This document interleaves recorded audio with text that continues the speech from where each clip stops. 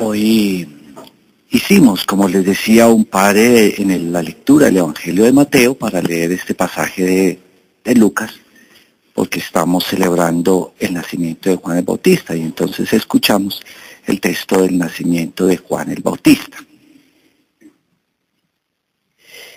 Hay como, como varias, eh, varios aspectos que, que pudiéramos meditar a la luz de la palabra del Señor. El primero, por supuesto, cómo Dios ha tenido misericordia. Así es lo que significa el nombre de Juan. Dios es favorable, es decir, Dios ha tenido misericordia para con Isabel y por supuesto con Zacarías y por supuesto para todo el pueblo. Dios ha sido favorable, Dios ha sido misericordioso. Juan ha sido la bendición de Dios para Zacarías y para Isabel, su esposa. Ha sido una bendición de Dios. Segundo,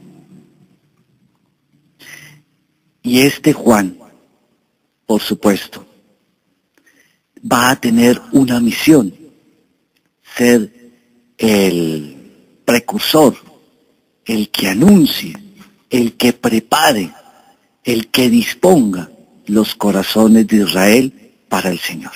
Dispongan los corazones para Dios. Esa es como la misión de Juan el Bautista. Va a tener una misión específica. Por tanto, su misión está cargada de vida. Su misión está cargada de esperanza. La misión de Él está cargada de, de la luz de Dios está cargada del cumplimiento, digámoslo de esa manera, de las promesas de Dios. Dios ha prometido un hijo.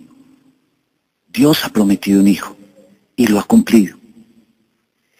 Y por supuesto, como en una u otra manera Juan, al preparar el camino a Jesús, Dios también está cumpliendo la promesa que hizo en el Antiguo Testamento que enviaría un mensajero. Y por supuesto que enviaría el Salvador. Esa es la misión de Juan. Portados de vida, de esperanza, de sueños, de ilusiones. Tercer aspecto. Pienso que a veces la vida de Juan pudo ser como lo decía el profeta, la primera lectura, el profeta Isaías, que es una lectura muy hermosa y cómo va surgiendo como el contraste entre lo que piensa Dios y lo que piensa Isaías. Para Isaías, vea lo que va a decir Isaías. En vano me he cansado, en viento y en nada he agotado mis fuerzas. Eso pensaba. Pero Dios pensaba todo lo contrario. Dios decía, no, pero este, este es el parroquiano que yo había escogido.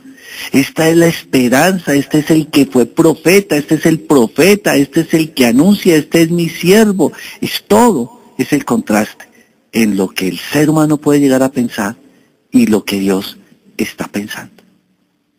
Bien, quisiera hacer un paréntesis para terminar recogiendo todo lo que he dicho, y no es un paréntesis, es un poco concretar esa palabra en nosotros. ¿Cómo ustedes y yo leemos nuestra vida? Quisiera preguntarles a ustedes, ¿cómo usted entiende su vida? ¿Cómo usted entiende su existencia? ¿En clave de qué ustedes y yo leemos la vida? Yo creo que hoy deberíamos pensar en eso. ¿Y qué quiero decir? Su vida, la vida de cada uno de los que estamos aquí en la capilla, la vida de cada uno de los oyentes de la emisora en este momento, es una bendición de Dios. Su vida es una bendición de Dios. Su vida, una bendición de Dios. Dios ha hecho una, Dios ha hecho una bendición. Dios ha realizado una bendición. Dios lo ha constituido a usted una bendición una bendición por supuesto para su familia, una bendición para todos los que se acercan, una bendición para sus amigos, una bendición para su trabajo, una bendición para todo. Entiéndase, compréndase, lea su existencia en clave de qué? De bendición. En clave de bendición.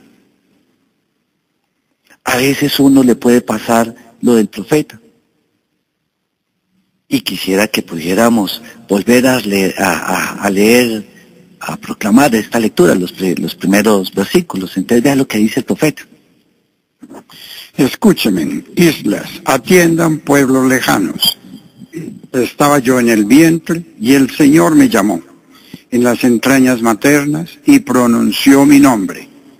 Hizo de mi boca una espada afilada. Me escondió en la sombra de su mano. Me hizo flecha bruñida.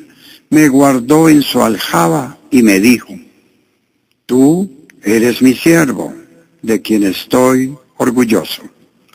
Mientras yo pensaba, en vano me he cansado en viento y en nada he gastado mis fuerzas. En realidad mi derecho lo llevaba el Señor mi salario lo tenía mi Dios. Bien. Muy bien. Descubra usted su vida, como decía el profeta. El Señor lo escogió. El Señor lo llamó. El Señor fue cuidando de usted. Desde el vientre materno el Señor ya nos conocía a cada uno de nosotros.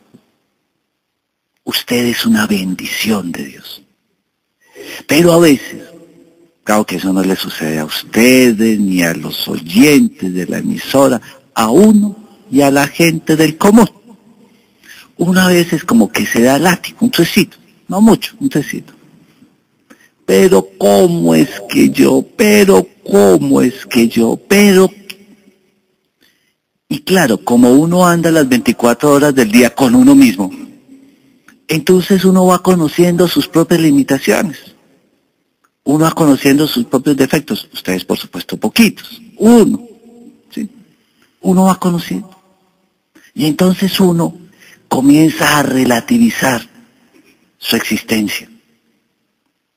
Y deja de leer su vida en clave de misericordia de Dios en clave de bendición de Dios. Y comenzamos a leer nuestra vida en clave de qué? De defecto, de limitaciones, de que fue que, que fue que, y todo eso. Y si es peor, de pronto uno no está como en los parámetros sociales, digámoslo así, pues peor se da un trocito más, ¿no? Entonces los parámetros sociales es 90, 60, 90 para las damas.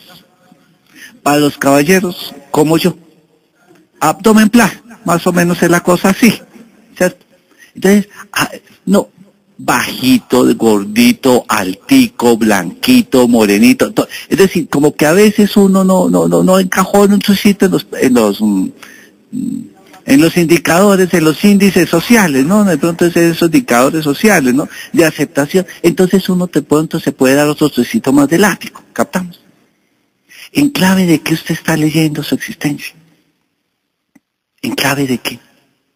Yo quisiera que ustedes y yo, y cada oyente de la emisora, podamos decir, yo leo mi vida en clave de bendición. Soy una bendición de Dios. Mi existencia, una bendición de Dios.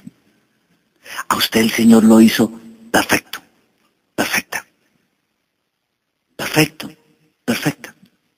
Que tenemos que pulir cosas, por supuesto que tenemos que pulir cosas. Por supuesto. Pero en la medida en que ustedes y yo leamos nuestra vida en clave de misericordia, podremos superar las ambigüedades de la existencia. Las podremos superar. Uno no supera las cosas dándose látigo. Uno supera las cosas dejándose inundar de misericordia de Dios. Entonces, leer la vida en clave de bendición. Por tanto, segundo, ¿cómo yo soy bendición también para los demás? ¿Cómo yo procuro ser esa bendición de Dios para el otro? para mi esposa, para mi esposo, para mis hijos, para mis padres, para mis hermanos, para los otros, para los compañeros de trabajo, para donde yo estoy, cómo yo soy esa bendición de Dios para el otro. Si yo leo mi vida en clave de bendición de Dios, entonces cómo yo soy bendición para aquel que está a mi lado. Entonces yo soy portador de qué? De esperanza. Yo me convierto, mi existencia se convierte en portadora de luz, en portadora de vida, como Juan el Bautista. Yo me convierto en eso. Entonces yo soy el portador de la buena nueva, no de las malas nuevas o de las eh, nuevas malas, como quieran leer. No, portador siempre de vida y de esperanza. Yo creo que estamos llamados a eso. Hay una realidad en la cual ustedes y yo estamos sumergidos. Yo les he dicho, ¿no? A veces en esta realidad la vida quiera la impresión, por supuesto que a mí me da la impresión, no es que sea así, ¿no? Que la vida se relativizó y le pusimos precio a la vida. La vida tiene valor, pero no precio. Y le pusimos precio y le pusimos cuánto cuesta el pisco, cuánto cuesta, discúlpame la expresión que voy a utilizar, cuánto cuesta quebrar este pisco. Ah, las 50 mil pesitos, véngalos. Esa es la tristeza del ser humano. No, ustedes y yo descubrir el valor de la existencia y ser portador de esa vida para el otro, esperanza para el otro. ¿Cómo ustedes y yo no funcionar en clave del mundo? El mundo es interesado, el mundo tiene sus intereses particulares, arrasa con el otro, destruye al otro, por los intereses particulares, porque a veces esa es la fragilidad del ser humano, que nos dejamos eh, omnubilar, nos dejamos eh, eh, enseguecer, nos deslumbramos por el poder o por el tener o por el ser, por todas esas cosas, por todas eso. Pero ustedes y yo, que hemos conocido a Jesucristo, que leemos nuestra vida en clave de esperanza, de bendición, portemos eso. Seamos portadores de la buena nueva de Dios. Y de esa manera podremos cumplir qué? La bendición de Dios. Entonces, lo que dice el profeta lo que le dice el profeta Isaías, dice, en realidad mi derecho lo llevaba el Señor, mi salario lo tenía mi Dios. Y ahora habla el Señor, que desde el vientre me formó, y siervo suyo, en siervo suyo, para que le trajese a Jacob, para que le reuniese a Israel. Bueno, y así sucesivamente. Les dejo para que meditemos. Entonces, primero, su vida una bendición de Dios. No la lea en clave de otra cosa. Y segundo, como bendición de Dios, vayamos por la vida, sembrando esperanza siempre, ilusión siempre en el corazón de los demás. Gloria al Padre, al Hijo y al Espíritu Santo.